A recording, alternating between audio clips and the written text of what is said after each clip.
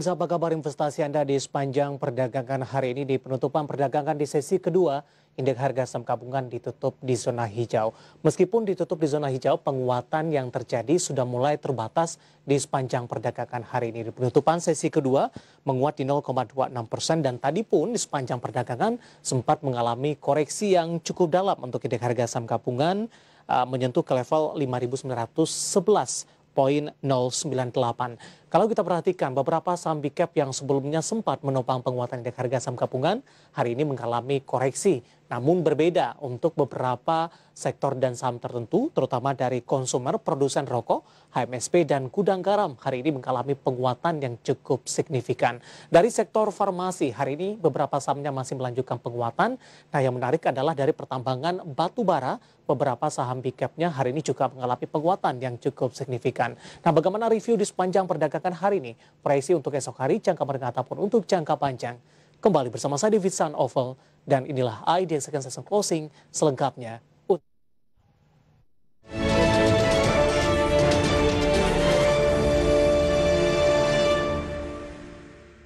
Seperti biasa mengawali perjumpaan, saya akan sampaikan bagaimana posisi penutupan perdagangan di sesi kedua hari ini, di mana indeks harga saham gabungan ditutup di zona hijau di 0,26 persen dan ditutup di level 5.946.398.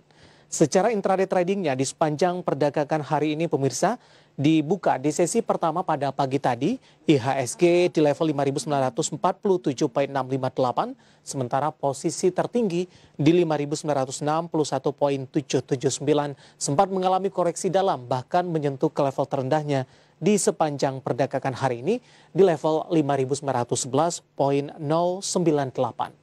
Ya, dari update penutupan ada posisi indeks harga saham gabungan. Berikutnya kami akan mengajak Anda bagaimana posisi indeks lainnya seperti MNC 36, LQ45 dan juga Jakarta Islamic Index. Dapat Anda saksikan juga di layar televisi Anda data yang berhasil dihimpun oleh tim redaksi kami. Di antaranya MNC 36 ini menguat di 0,05 persen di level 323.241. Jakarta Islamic Index minus di 0,09 persen di 631 0,204. Sementara LQ45 minus di 0,35 persen di 932,998. Kita beralih ke grafis selanjutnya. Kita akan coba lihat juga bagaimana rotasi pergerakan sektoral di penutupan perdagangan di sesi kedua hari ini. Konsumsi memimpin penguatan. Tadi juga saya sampaikan, HMSP dan gudang garam hari ini mengalami penguatan yang cukup signifikan. Disusul oleh pertambangan, saham-saham di sektor pertambangan batubara Adaro, PTBA, kemudian juga Indi, hari ini juga kembali mengalami penguatan yang cukup signifikan. Sementara aneka industri tertekan di 1,49 persen, di mana kontribusi terbesarnya adalah Astra Internasional yang hari ini mengalami tekanan yang cukup dalam. Kemudian perkebunan juga tertekan minus di 0,61 persen. Kita beralih ke grafis selanjutnya. Kita akan coba lihat juga saham-saham yang mengalami penguatan signifikan yang masuk ke dalam deretan top gainers dan penopang bagi indeks harga saham gabungan sehingga tekanan yang terjadi pada hari ini tidak terlalu dalam dan penguatan tipis masih terjadi bagi IHSG. Pegas ditutup di level 1690, KF dari farmasi masih menguat di 4810, Friend di level 78, dan HMSP sudah menembus ke level 1795. Sementara value masing-masing saham dapat Anda saksikan juga di layar televisi Anda. Kita beralih ke grafis selanjutnya. Kita akan coba lihat juga saham-saham yang menjadi pemberat bagi indeks harga saham gabungan di penutupan sesi kedua hari ini yang masuk ke dalam deretan top losers. Astra Internasional tertekan, ditutup di level 5.700, SMBR di 1.200, Telkom ditutup di level 3.300, dan ICBP juga tertekan di 9.800. Sementara value masing-masing saham dapat Anda saksikan juga di layar televisi Anda. Ya, dari deretan top loser, berikutnya kami akan mengajak Anda untuk melihat bagaimana data terakhir dari pergerakan bursa Asia. Dapat Anda saksikan juga di layar televisi Anda, pemirsa. Data yang berhasil dihimpun oleh tim redaksi kami untuk posisi data terakhir bursa Asia. Untuk posisi Nikkei melemah di 0,30 persen di level 26.467,08. Sementara SCI melemah di 0,21 persen di level 2.819,45 dan Kospi juga mengalami pelemahan di 1,65 persen 1,62 persen maksud kami dan berada di level 2.700,93 sementara Hang Seng juga melemah di 0,68 persen dan berada di level 26.326,80. Ini dia data terakhir yang berhasil dihimpun oleh tim redaksi kami dan semoga bisa menjadi salah satu referensi untuk Anda, terutama dalam menghadapi perdagangan di keesokan hari. Kita akan jeda terlebih dahulu dan di segmen selanjutnya nanti kami akan mengajak Anda untuk menyimak beberapa topik pilihan yang berhasil dihimpun oleh tim redaksi kami dan juga informasi emiten pilihan. Kami akan segera kembali usai jeda berikut ini.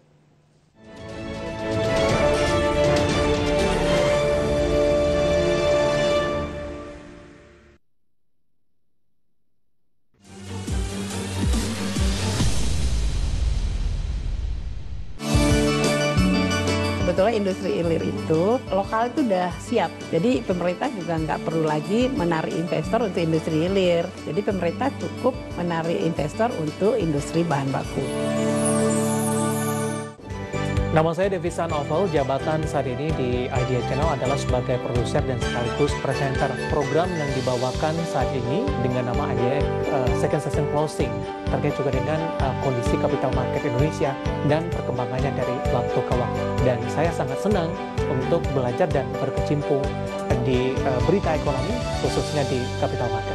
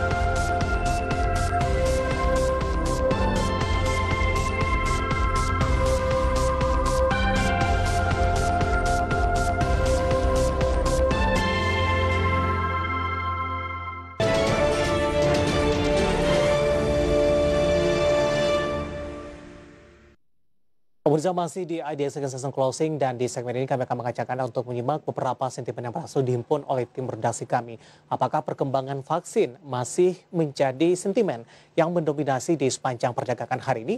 Mari kita simak tayangan berikut ini. Pfizer telah mengajukan izin penggunaan darurat vaksin virus corona baru di India yang pertama melakukannya di negara dengan jumlah kasus COVID-19 kedua terbanyak di dunia. Pfizer mengajukan izin darurat kepada otoritas India pada 5 Desember 2020 waktu setempat. Dikutip dari Reuters, VK Paul, penasehat pemerintah India untuk COVID-19 mengatakan pemerintah India menyambut baik pengajuan izin penggunaan darurat vaksin. Regulator obat India biasanya membutuhkan waktu hingga 90 hari untuk memutuskan sebuah pengajuan izin. Namun untuk keputusan tentang vaksin Pfizer, keputusannya diperkirakan akan lebih cepat diketahui.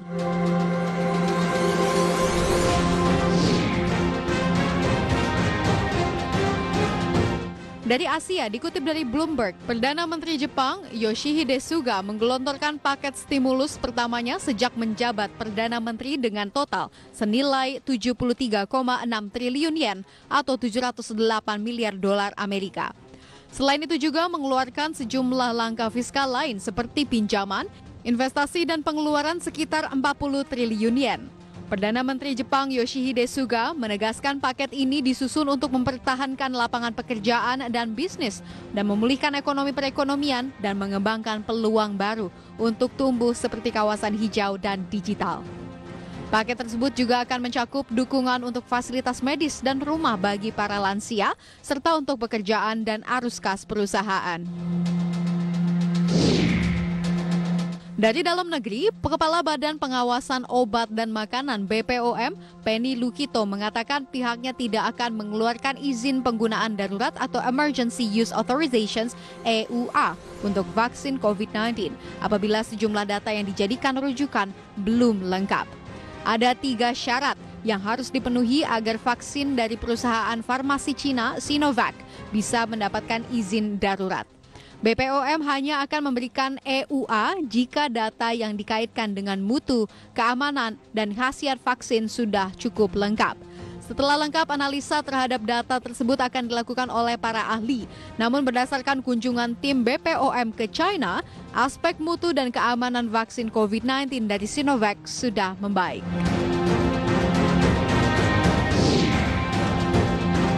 Bank Indonesia dalam survei konsumen melaporkan keyakinan konsumen terhadap kondisi ekonomi membaik pada November 2020. Hal ini tercemin dari Indeks Keyakinan Konsumen atau IKK November 2020 yang meningkat menjadi sebesar 92,0 dibandingkan dengan 79,0 pada bulan sebelumnya.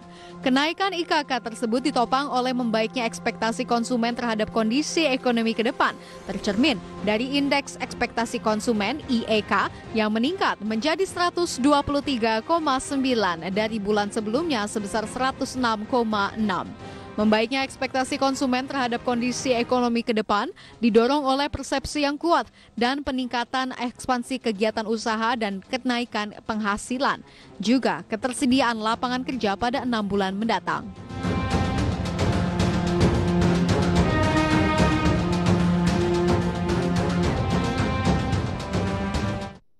Dari beberapa sentimen yang berkembang di sepanjang perdagangan hari ini dan berikutnya kami akan mengajak Anda untuk menyimak topik pilihan yang berhasil dihimpun oleh tim redaksi kami. Dan kali ini lagi-lagi dari komunitas pemirsa di mana pergerakan harga komoditas batu bara ini kembali mencetak rekor tertingginya di tahun 2020. Di mana pembatasan impor batu bara China dinilai sebagai salah satu faktor yang memicu melonjaknya harga batu bara. Harga batu bara terus mencetak rekor terbarunya dan berhasil mencapai level tertinggi di sepanjang tahun 2020, melampaui level tertinggi sebelumnya di bulan Januari. Harga kontak future batu bara thermal Newcastle kemarin ditutup melesat 2,04 persen ke level 77,35 dolar Amerika per ton. Ini menjadi harga penutupan tertinggi untuk tahun ini setelah kontrak-kontrak yang aktif ditransaksikan pada 13 Januari lalu di level 77,15 dolar Amerika per ton. Pembatasan impor batu bara China dinilai sebagai salah satu faktor yang memicu melonjaknya harga batu bara. Dengan pasokan ketat yang terjadi di China, harga batu bara domestik negeri tirai bambu melesat tinggi. Bahkan pada 4 Desember lalu harga batu bara domestik China sudah mencapai 648 RMB per ton atau hampir 100 dolar Amerika per ton. Kebijakan pemboikotan batu bara Australia oleh China membuat negeri tirai bambu mencari alternatif pasokan batu bara dari produsen lain seperti Indonesia dan Afrika Selatan. Hal ini membuat harga batu bara di kedua negara tersebut terangkat. Di Indonesia harga batu bara acuan bulan Desember mencapai 59,65 dolar Amerika per ton, meningkat dibandingkan bulan sebelumnya sebesar 55,71 dolar Amerika per ton. Berbagai sumber IDX Channel. Pemirsa penguatan harga batu bara membuat beberapa saham-saham yang ada di sektor ini atau di pertambangan batu bara mengalami penguatan signifikan. Ada Adaro, PTWA, kemudian juga ada Indi. Tim redaksi kami mencoba mengambil untuk informasi fundamental dari beberapa emiten yang ada di sektor pertambangan batu bara dan kali ini kita akan coba lihat bagaimana perkembangan fundamentalnya untuk salah satu emiten di sektor pertambangan batu bara ini yaitu PT Indika Energi Tbk. Apakah dari sisi fundamental juga ada perkembangan uh, positif dan mungkin saja bisa menjadi salah satu referensi untuk Anda. Di mana Indi bersama perusahaan pertambangan nasional ini melakukan kerjasama yang strategis untuk gasifikasi batu bara ini bersama dengan PT Pertamina Persero di mana nota kesepahaman ini merupakan wujud komitmen dan juga gotong royong untuk mengembangkan energi alternatif di Indonesia.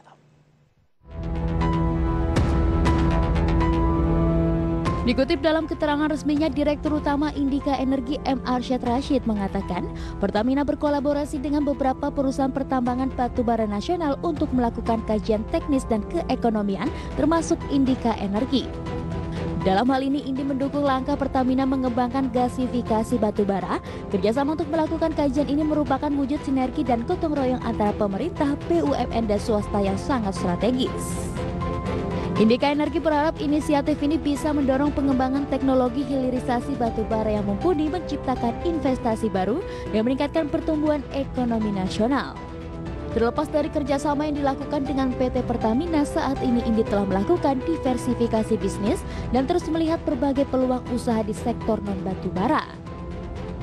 Sebelumnya program gasifikasi batubara merupakan salah satu upaya pengembangan energi alternatif dengan bahan baku energi yang banyak terdapat di Indonesia. Salah satunya pengembangan program gasifikasi batubara yang dapat diproses menjadi bahan bakar pengganti liquefied petroleum gas atau LPG, yaitu dimethyl ether atau DME. Berbagai sumber, IDX Channel.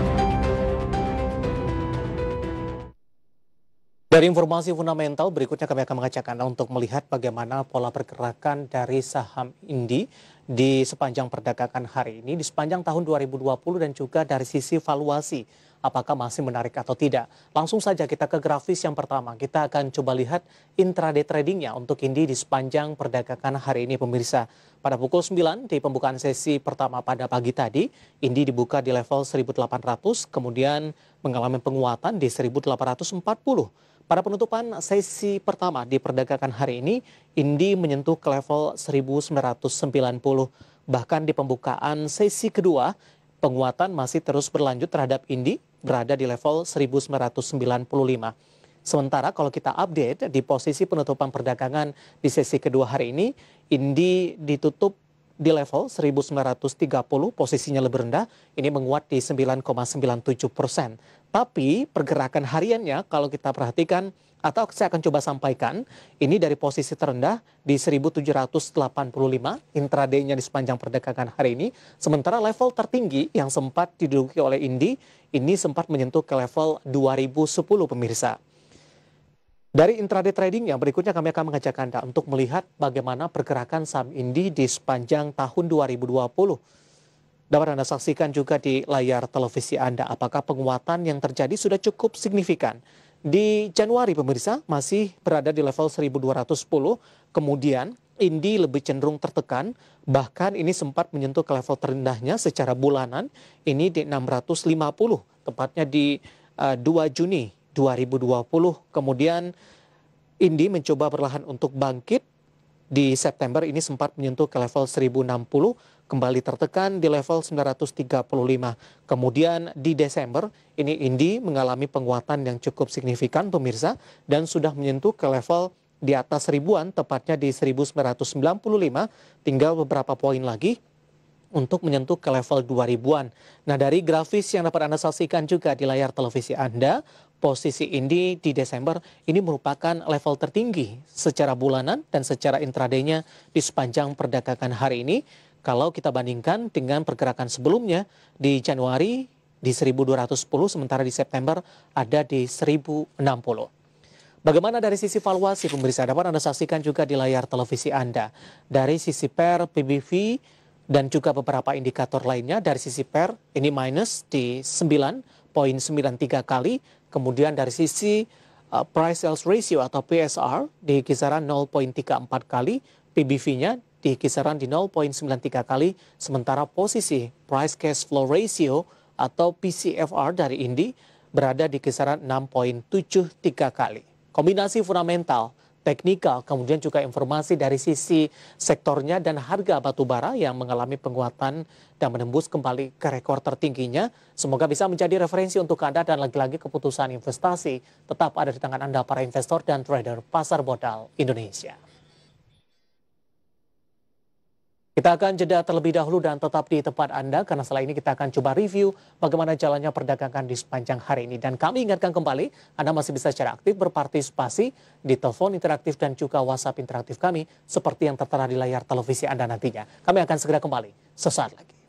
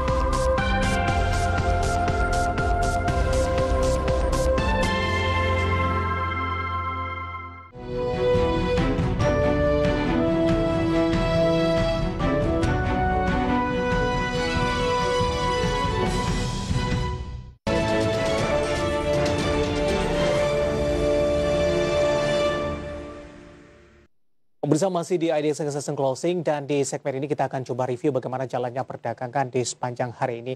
Dan kami ingatkan kembali Anda masih bisa secara aktif berpartisipasi bersama kami di line telepon interaktif di 021 di 391 di 3 di 5201 dan juga ada WhatsApp interaktif kami di 0812 di 1398 di 3749 seperti yang tertera di layar televisi Anda. Anda bisa berpartisipasi langsung menanyakan posisi portofolio Anda ataupun Anda ingin masuk pada saham-saham tertentu. Level menarik berapa saja yang bisa diperhatikan baik untuk jangka pendek, jangka menengah ataupun untuk jangka panjang. Saat ini kami sudah terhubung melalui via Zoom bersama dengan Bapak Arga Jonathan Karo-Karo selaku Head of Research Creative Trading System. Kita akan langsung sapa saja. Pak Arga, apa kabar Pak? Halo, Pak kabar Pak David? Baik-baik. Terima kasih Pak Arga sudah meluangkan waktu di IDX Channel. Posisi penutupan sesi kedua Pak masih ditutup di zona hijau, tapi pergerakan hari ini tampaknya berbeda jika dibandingkan dengan uh, perdagangan kemarin. Hari ini penguatan lebih ke arah terbatas dan sempat mengalami koreksi cukup dalam terjadi uh, di pasca pembukaan sesi pertama pada pagi tadi Pak Arga. Uh, secara teknikal, bagaimana Anda melihat posisi IHSG? Apakah sudah jenuh beli sampai sejauh ini Pak Arga? Uh, kalau kalau kita lihat ya mungkin uh, saat hari ini ada asingnya totalnya net sell gitu. Jadi tentunya uh, net sell itu tercermin di saham, banyak saham-saham perbankan. Jadi saham-saham hmm. perbankan uh, mengalami koreksi hari ini. Jadi sebenarnya penurunannya karena itu jenuh itu kan kalau ngomong jenuh beli kan siapa yang beli? Karena ketika yeah. ada yang beli ada yang jual juga anyway. Kayak gitu. Jadi uh, so far sih kita lihat ya masih ya ya ya bisa dibilang ini dulu lah uh, take a break dulu investor asingnya nggak banyak melakukan pembelian itulah yang membuat IHSG naiknya nggak seheboh kemarin seperti okay. itu. Posisi koreksi yang terjadi hari ini masih dalam koreksi sehat begitu? Iya, menurut saya masih sehat sih selama belum ada aksi jual asing besar-besaran, saya rasa masih sehat. Baik, dari sisi rotasi pergerakan uh, sektoral ini uh, Pak Arga, uh, dari data RTI yang saya pegang hari ini penguatan uh, didominasi oleh pertambangan uh, terutama untuk batu bara. Kemudian juga farmasi beberapa sahamnya juga uh, mengalami penguatan signifikan dari konsumer. HMSP dan GGRM nilai kapitalisasinya cukup besar terhadap IHSG hari ini juga mengalami penguatan yang cukup signifikan di tengah pelemahan dari beberapa saham big cap lainnya yang sebelumnya menjadi penopang bagi IHSG. Bagaimana Anda melihat uh, posisi dari pergerakan sektoral dan juga beberapa sahamnya, Pak? Uh, ya mungkin ya itulah yang menyebabkan pergerakan IHSG hari ini agak ter, uh, ya agak terbatas ya kalau hmm. dibandingkan kemarin karena memang di satu sisi saham, saham perbankan yang punya uh, apa persentase terbesar terhadap IHSG itu nggak naik hari ini sementara saham uh, konstruksi eh sorry saham uh, saham BUMN, saham batu bara, saham uh, konsumer, emiten rokok itu mengalami kenaikan. Jadi ya memang ini hanya balancing aja dan IHSG ya hanya cerminan dari balancing beberapa saham itu kayak gitu. Jadi uh, sebenarnya ya posisi jenuh beli ini uh, ya ini gambaran aja kalau saham uh, saham uh, farmasi sendiri kan nggak semuanya naik, KLPF yeah. sendiri nggak hmm. terlalu banyak naik, jadi lebih yang berhubungan dengan saham-saham yang yang turun signifikan di akhir tahun okay. lalu karena krisis jiwasraya itu jadi motor utama sebenarnya untuk saham-saham ini. Baik, untuk saham-saham pertambangan batu bara, eh, Pak Arga tadi juga sempat masuk ke dalam listrik company subjek kita untuk Indi, kemudian juga dari informasi harga batu bara hari ini juga menembus kembali ke level tertingginya di sepanjang uh, eh, 2020. Kemudian dari sisi uh, per tadi untuk Indi uh, justru minus ini apa yang bisa kita cermati Pak di tengah penguatan yang terjadi uh, kalau kita bandingkan juga dari sisi valuasinya Pak Arga, apakah kondisinya masih menarik atau tidak? Saya rasa sih eh, menjelang akhir tahun ini, saya rasa kinerja keuangan itu bukan sesuatu yang uh, harus kita jadikan prioritas karena yeah. fokusnya tentunya masih ke window dressing kayak okay. gitu masih ke window dressing, kinerja positif, negatif, kita tahu even enough pun yang naik luar biasa, di masa pandemik ini mengalami kerugian, kayak gitu, KF pun koreksi turun, jadi menurut saya itu bukan sesuatu yang, ya kalau Anda mau mempertahankan, eh, kalau Anda mau simpan 5-10 tahun ke depan mungkin hmm. jadi pemikiran, kalau tapi kalau dalam jangka pendek saya rasa itu nggak harus, uh, jadi kita khawatirkan, saham okay. batu bara sendiri fasenya masih bagus, trennya masih bagus uh, dan uh, apa masih sentimennya masih sangat positif gitu dana masih mengalir ke situ itu aja yang kita fokuskan untuk saat ini jadi masih ada peluang di saham-saham batubara tersebut.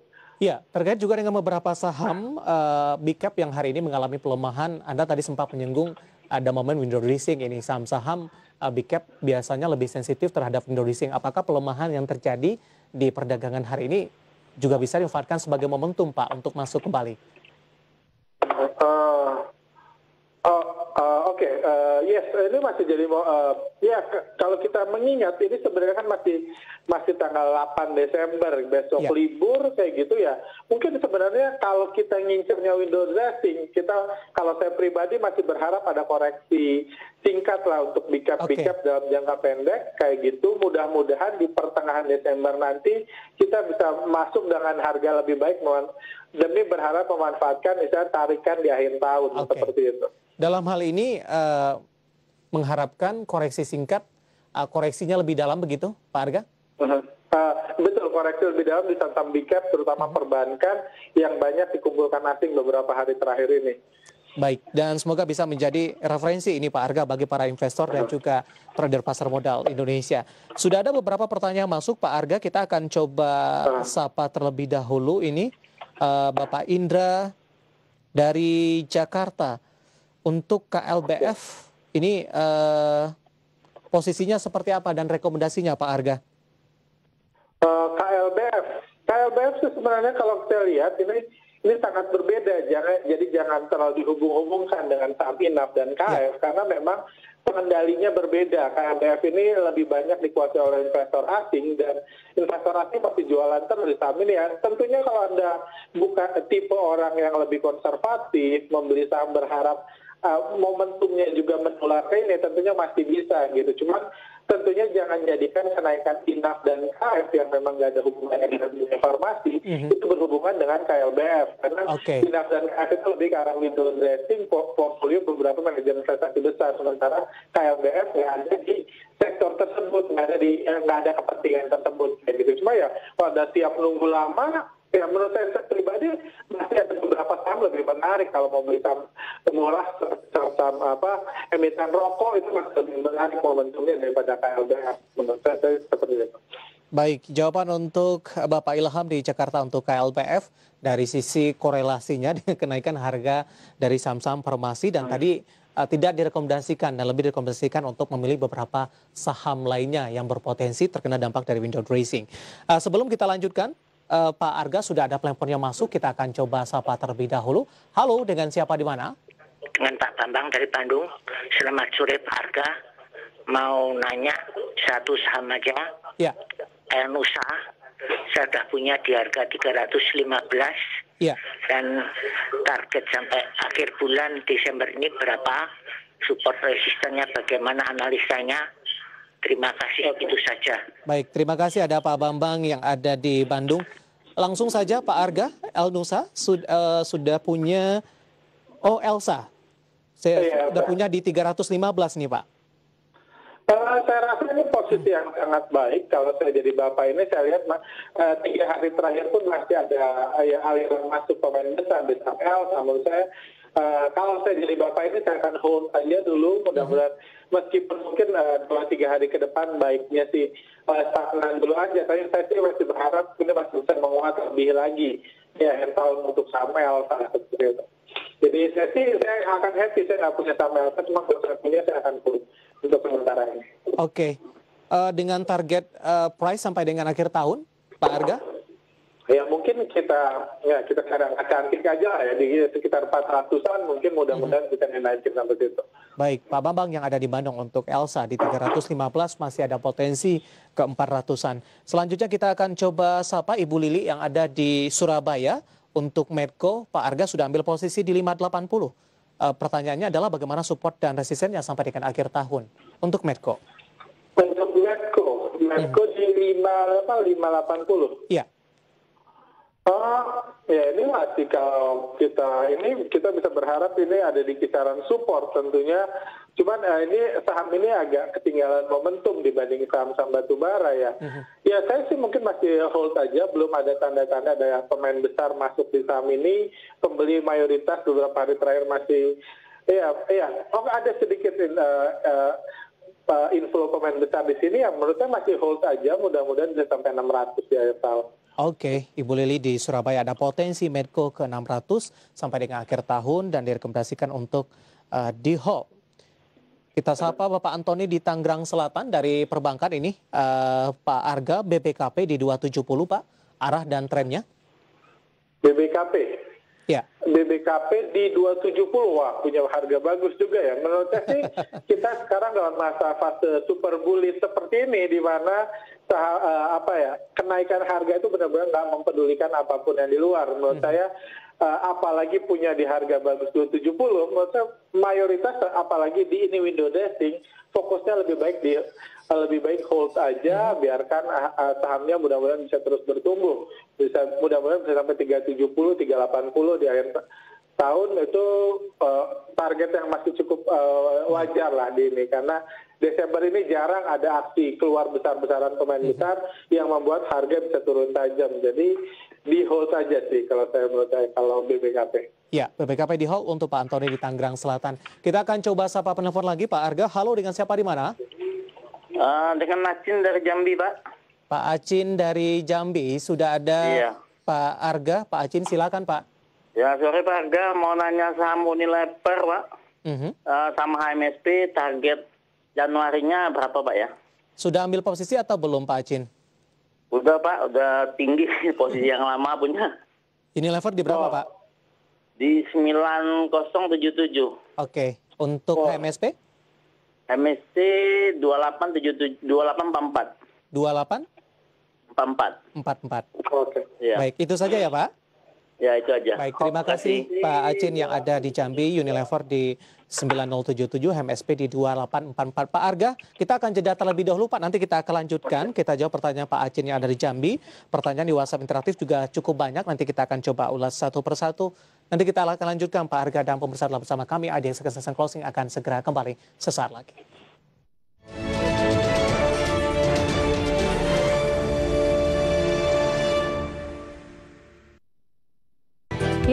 Pemirsa, nama saya Mangi Teracong. Saat ini saya menjabat sebagai presenter dan juga associate producer.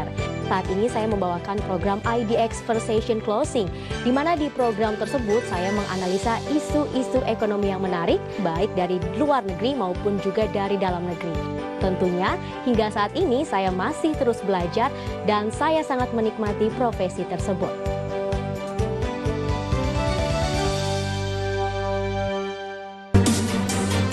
Senang sekali saya David San Oval dan dapat hadir menemani Anda dalam program spesial dialog webinar on TV. Setiap minggunya kita akan membahas tema-tema yang sangat menarik. Apa kabar ibu-ibu sekalian? Alhamdulillah baik. Salah satu ambisi daripada Kementerian Koperasi dan UMKM bersama Spesco adalah operasi keren, baru, digital gitu kan, yang kita bisa IT.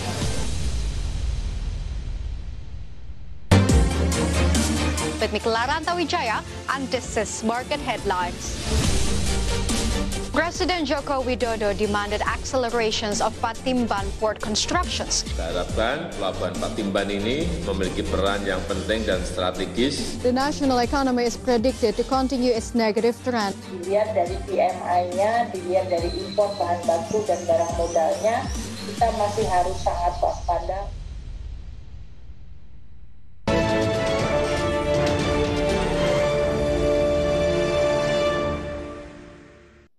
Terima kasih untuk Anda yang masih bergabung bersama kami di Ideas Succession Closing. Dan kami juga masih mengundang Anda untuk bisa berpartisipasi di telepon interaktif kami di 021 di 391 di 5201 dan juga ada WhatsApp interaktif kami di 0812 di 1398 di 3749 dan sebelum kita lanjutkan perbincangan kita akan coba lihat terlebih dahulu saham-saham pilihan yang direkomendasikan oleh Bapak Arga Jonathan Karo-Karo untuk perdagangan esok hari. Dapat Anda saksikan juga di layar televisi Anda pemirsa beberapa saham yang direkomendasikan ada Jasa Marga, Harum, kemudian juga ada LPPF ini. Rekomendasinya untuk ketiga saham ini adalah buy, sementara uh, posisi untuk buy-nya di uh, posisi penutupan perdagangan di sesi kedua hari ini pemirsa. Untuk jasa marga, Harum dan LPPF, saya akan coba sampaikan juga untuk uh, posisi dari jasa marga di penutupan sesi kedua hari ini ada di 4410 melemah di 1,78 direkomendasikan untuk masuk di level ini kemudian juga ada Harum uh, di penutupan sesi kedua ini ditutup menguat di 3,11 persen di 2980 sementara untuk beberapa saham lainnya ada LPPF. Saya akan coba sampaikan juga untuk posisi penutupan buy-nya di penutupan sesi kedua di perdagangan hari ini untuk LPPF di 1410 ini menguat di 4,44 persen dan semoga ini bisa menjadi referensi untuk Anda. Pak Arga kita lanjutkan kembali Pak Arga kita akan coba sapa penelpon terlebih dahulu. Halo dengan siapa di mana? Dengan Makmur Pak. Posisi di mana Pak Makmur? Jakarta Pak. Mau tanya Telkom dan Inaf Pak, Inaf Bio Farma, kau kak kak kau kak Kimia Farma.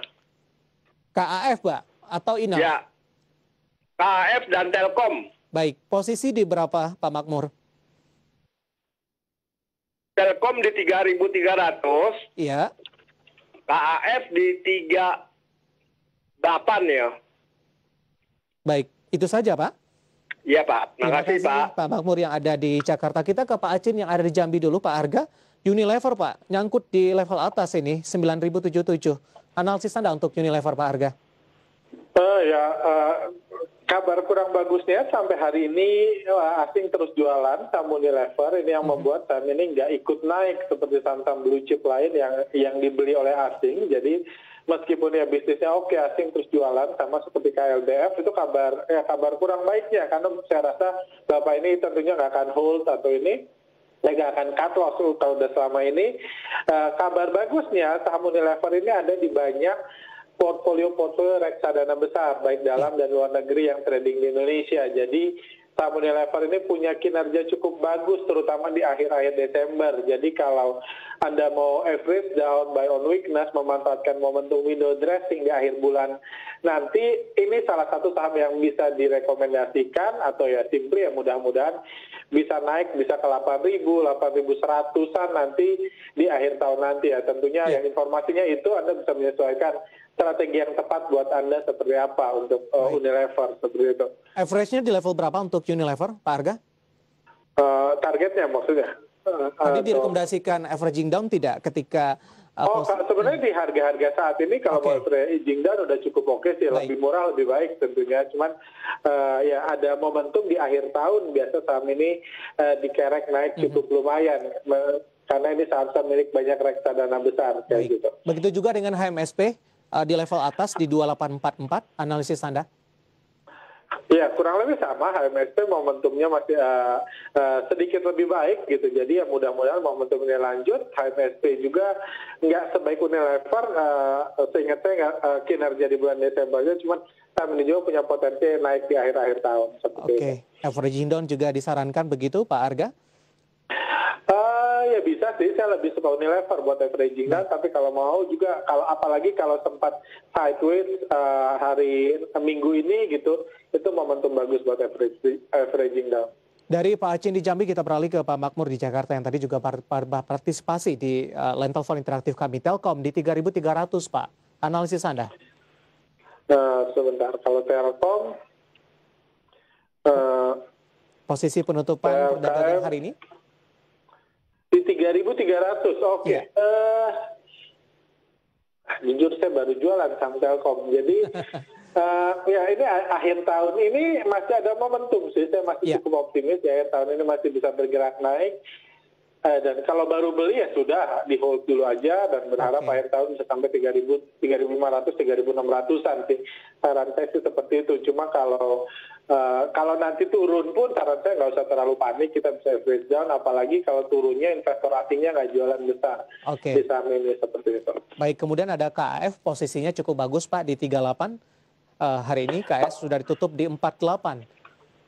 Pak Arga. Uh, saya agak khawatir saham ini hmm. terkoreksi lagi eh, jangka pendek kayak gitu ya. Kalau mau hold ya hold aja, saya masih bisa optimis, at least masih bisa bertahan di level harga ini sampai akhir tahun kayak gitu. Okay. Cuman mungkin uh, satu dua hari ke depan masih ada potensi sedikit koreksi untuk saham ini. Jadi ya ditimbang-timbang aja mau jual sebagian dulu mungkin bisa opsi. Nanti berharap uh, dapat juga momentum window dressing di akhir tahun. Seperti itu. Baik Pak Makmur di Jakarta Telkom dan juga KAF dan lagi-lagi keputusan investasi tetap ada di tangan Anda para investor dan juga trader pasar modal Indonesia. Selanjutnya kita akan coba sapa Ibu Eli di Surabaya yang juga sudah berpartisipasi di WhatsApp interaktif kami.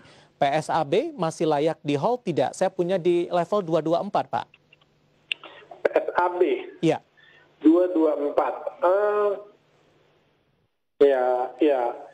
Ya mungkin tunggu aja lah ya sampai um, ini bukan saham yang banyak di reksadana besar, jadi kita nggak terlalu berharap di akhir tahun ada uh, kerek di kerek naik kayak gitu. Cuman ini hanya beda 4 poin ya. Mungkin yeah. kalau anda punya saham menarik mungkin bisa profit taking cari saham lain, cuma saya nggak ngeliat ada bahaya penurunan yang besar di saham ini dalam jangka pendek. Jadi silahkan mau di profit taking saja kah, ganti saham yang anda anggap lebih menarik, atau di hold juga nggak apa-apa menurut saya.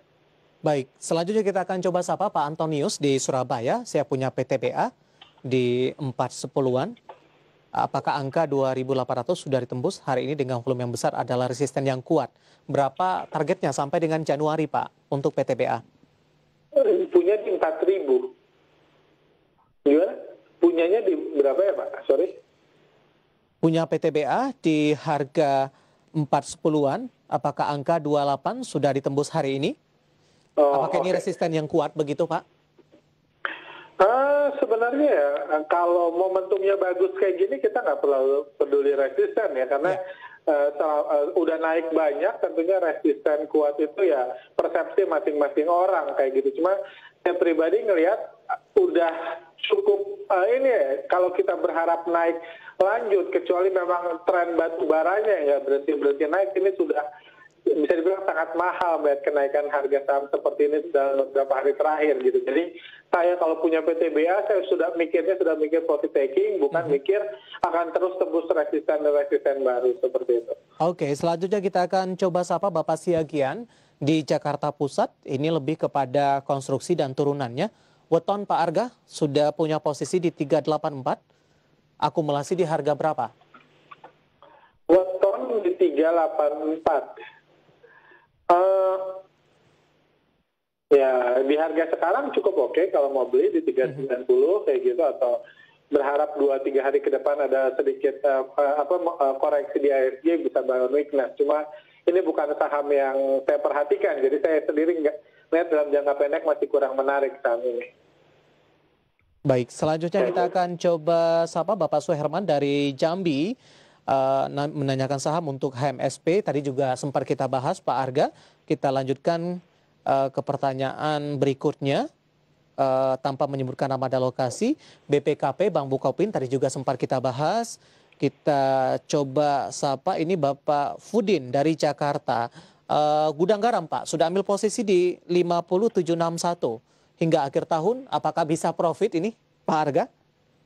50761. Ya. Uh, saya rasa masih ada opportunity ke arah situ. Mungkin kalau apalagi kalau Anda nyaman beli di saat ini atau dalam minggu ini terkoreksi masih bisa average down. Yeah. Saya lihat di kenaikan hari ini ada akumulasi cukup oke, investor-investor retail juga banyak yang menjual saham ini, jadi sementara investor-investor asing masuk ini saham yang menurut saya cukup menarik dalam jangka pendek ini. Oke. Okay. Ketika koreksi terjadi, memanfaatkan momentum untuk averaging down untuk Iya, atau ya atau di harga sekarang pun kalau okay. ada nyaman beli dengan kenaikan ini itu masih bisa dilakukan.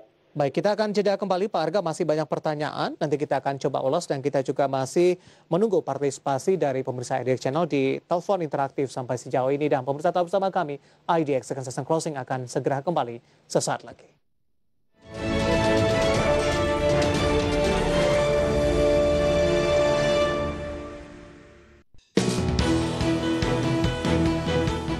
IDX Channel. The Indonesia Stock Exchange channel is the authorized capital market channel in Indonesia.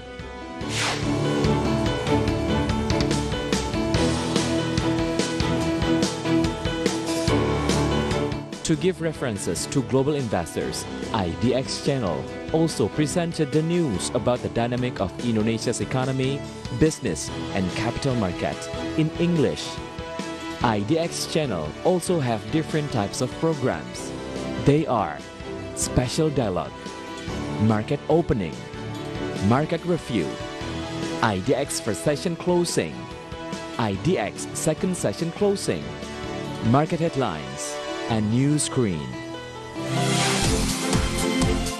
IDX channel is aired 24 hours a day with 5 hours live program from Indonesia Stock Exchange trading floor. Our vision and mission as the only capital market TV channel in Indonesia that is committed to improve the capital market knowledge in the country.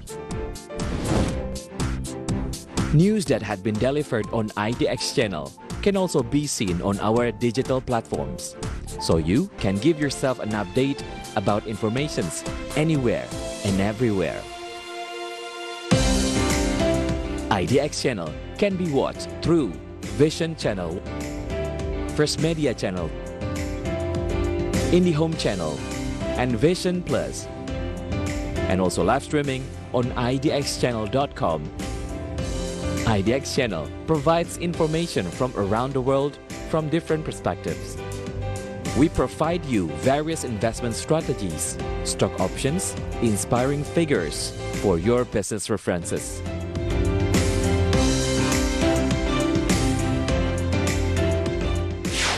IDX channel, your trustworthy economic, business, and capital market channel.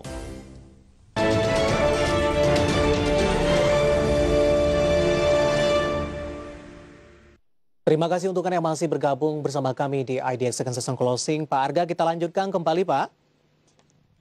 Halo, Pak. Iya, halo, halo. Waktu jika waktu kita cukup terbatas, Pak Arga, uh, masih banyak pertanyaan. Kita akan coba memaksimalkan dengan durasi yang ada. Kita akan coba sapa Bapak Jokowi dari Jakarta. Dari telekomunikasi ada XL, sudah ambil posisi di 2460. Target price-nya sampai dengan akhir tahun, Pak Arga?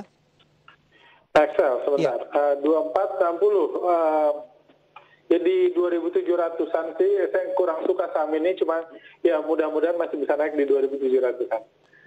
Target price 2.700-an. Untuk XL hari ini di 2480 koreksi di 1,59 persen. Uh, selanjutnya kita sapa Ibu Leli di Jakarta. Uh, untuk BNGA Pak Arga sudah pos, ambil posisi di 1136 Pak. BNGA 1136. Iya. Waduh, di atas ya. Mm-hmm. uh, ya, ini berpotensi terkoreksi sih. Hati-hati kalau tembus di bawah seribu, ya mudah-mudahan bisa sampai ke bisa kembali ke harga beli ibu lagi. Cuma so far sendiri saya kurang suka dengan saham ini juga. Oke, level support uh, kritikal yang bisa diperhatikan di seribu begitu Pak Arga untuk PNGA? Betul. Oke, dari Ibu, Ibu Leli di Jakarta kita akan coba sapa Bapak Kori dari Pematang Siantar dari Medan. Pak Arga, untuk pegas resisten berapa sampai dengan akhir tahun ini, tapi tidak menyebutkan apakah sudah ambil posisi atau belum. Pegas salah satu saham yang hari ini mengalami penguatan signifikan, Pak Arga. Analisis Anda untuk pegas. Untuk pegas saya rasa uh, bisa sampai 1.800 1.800-an mendekati 1.900 di akhir tahun ini. Ini saham yang cukup menarik. Hari ini pergerakannya luar biasa disertai banyak uh, masuknya pemain besar di saham ini. Baik, dari Bapak Kori, Pematang Siantar, kita akan coba sapa Bapak Indra, masih dari Medan ini Pak Arga. Uh, lagi-lagi dari Batubara, Adaro, uh, sudah ambil posisi di 1.800. Adaro, oh. ya. Adaro sama seperti PTBA, saran saya kecuali kita melihat harga batubara terus naik, mendingan hmm. profit taking dulu untuk jangka pendek untuk saham-saham ini. Baik, tapi tampaknya di level atas Pak, 1.800 uh, posisi oh, oh, hari 1800 ini. ya, hmm. 1800 ya. Mungkin salon strength aja kalau harga batu bara mulai turun. Oke, okay, baik. Dari Bapak Indra di Medan, selanjutnya kita akan coba sapa uh, ada Fach ini uh, untuk BJTM Pak Arga di 665. BJTM? Ya. 665 masih ya masih bisa di hold sih mudah-mudahan ada kenaikan di akhir tahun untuk BJTM saham ini ya masih layak untuk di hold bisa target 700-an. Oke, 665 posisi penutupan perdagangan di sesi kedua hari ini. Selanjutnya kita akan coba sapa. Ada Guesino dari Jakarta. Mau tanya untuk BMRI, hari ini mengalami penurunan, sudah entry di 6375. Pak Arga, berkaitan dengan window dressing, bagaimana strateginya untuk BMRI uh, hari ini mengalami koreksi dan sudah ambil posisi di 6375. Sebenarnya masih profit dengan posisi uh, koreksi yang hari ini, Pak Arga?